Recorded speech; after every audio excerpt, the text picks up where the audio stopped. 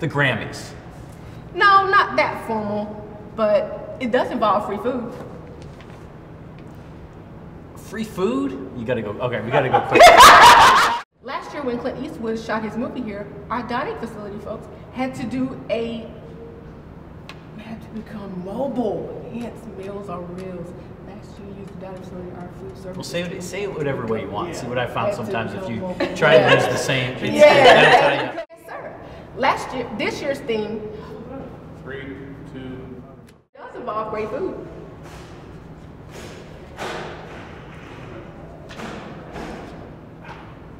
I'm sorry. Just- she skipped the See you at the Heritage Club on February 5th for the Hennessy Award Icebreaker.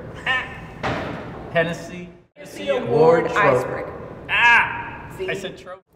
You know what, Chief? I think we need to invite the entire base. Let's do it. Team Robins, we'll see you at The. Heritage. Let's do it. Team, Team Robins, we'll see you at the Heritage Club on February 5th for the Hennessy Award Icebreaker.